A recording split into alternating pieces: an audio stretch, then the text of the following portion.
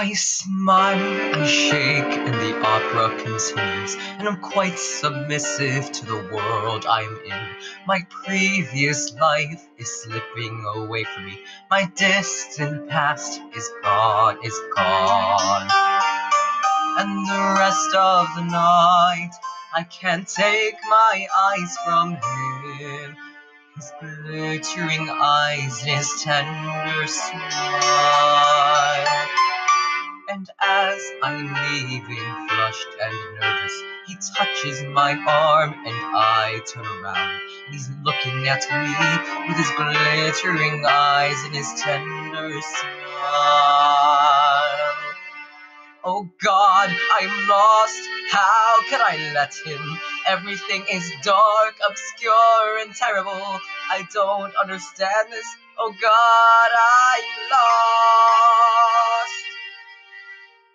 Back in the theater full of lights, where tenors jumped about in tinsel jackets, and girls and old men cried bravo in rapture.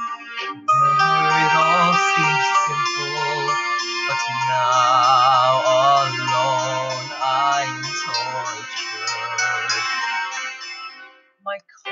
conscience gnaws away at my heart.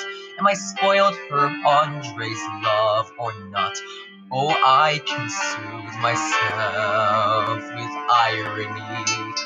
Nothing, it was nothing, I didn't lead him on at all. No one will ever know I'll never see him again.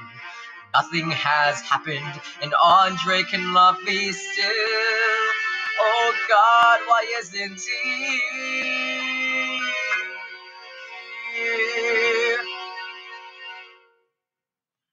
And Yet it was like there was nothing between us. No veil, no modesty, just his face, his strong hands, his glittering eyes, and his tender smile. The bold, handsome man who pressed my arm.